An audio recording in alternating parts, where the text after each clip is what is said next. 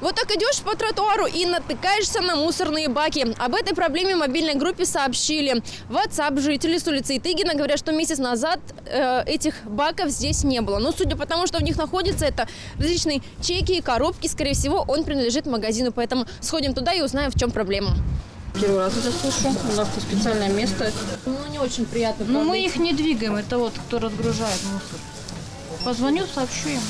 Ну вот и решили мы проблему. Администратор магазина пообещала, что позвонит в мусорную компанию, чтобы в дальнейшем баки не ставили ближе к зданию. Ну а мы это обязательно проверим. И теперь поехали дальше.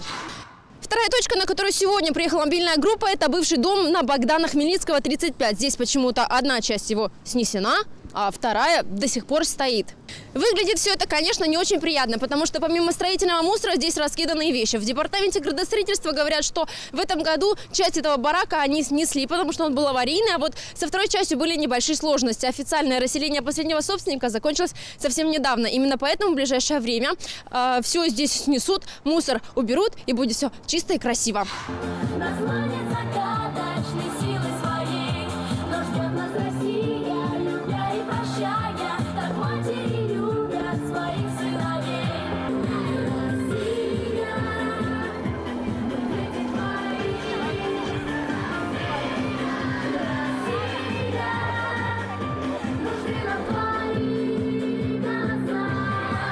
Вот именно так 4 ноября начнется День народного единства на ипподроме в Абакане. Эти ребята покажут такой небольшой пролог под названием «Мы единое целое». На сегодняшний день в республике у нас проживает около 100 национальностей, и некоторые из них покажут здесь свое творчество. Выступят творческие коллективы национальных общественных организаций Республики Хакасия. Это будут киргизская, чувашская, польская, э, э, корейская диаспоры. Но посмотреть на творчество народов, которые проживают на территории Республики Хакасия, можно а, 4 ноября, как мы уже сказали, в 12.00.